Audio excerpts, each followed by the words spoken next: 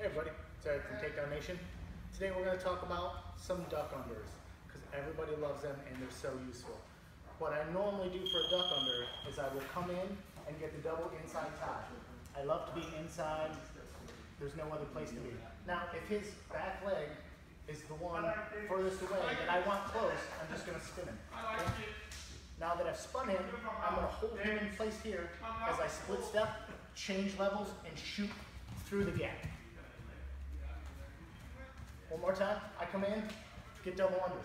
His feet are pretty square. If that's good. I come here, pull, and around his body. Sometimes I like to do them from an underhook as well. So I've got the underhook. Jan's here. He's going to be reaching for my head or something with his hand. So what I'm going to do now, circle him, post this, come under to that body lock. One more time. I'm here with this underhook. He's got that handle messing around. Spin him, post, the body lock. Hey, remember, takedownnation.com for all your Takedown Nation swag needs. There's going to be some new products coming out. Hope you enjoy.